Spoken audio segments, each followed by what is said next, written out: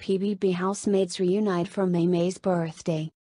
Former housemaids of the latest season of Pinoy Big Brother were reunited at the surprise birthday bash of big winner Maymay Entrata held on Monday at Conrad Manila. Present in the event were Luis Hontiveros, Jerome Alacre, Jesi Corcuera, Marco Gallo, Elisse Joson, McCoy de Leon, and, of course, Entrata's on-screen partner Edward Barber. The Cagayan Oro last turned 20 last Saturday. Just last week, PBB housemates also gathered for the debut of Kisses Delavin at the Makati Shangri-La Hotel.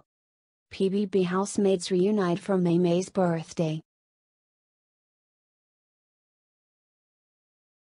Hey,